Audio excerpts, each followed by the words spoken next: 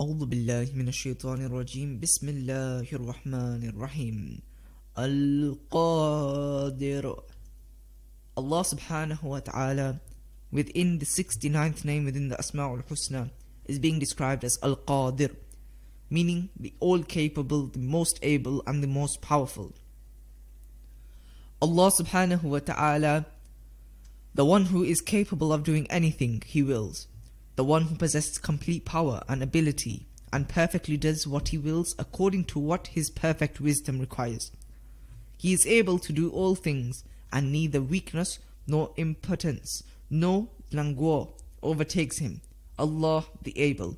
It has been said that whoever recites this name, Al Qadir, meaning the Able, the recitation of this name helps in fulfilling one's desires, inshaAllah. It has been said in Surah Al Ma'idah that for God's is the dominion over the heavens and the earth, and all that is in between them.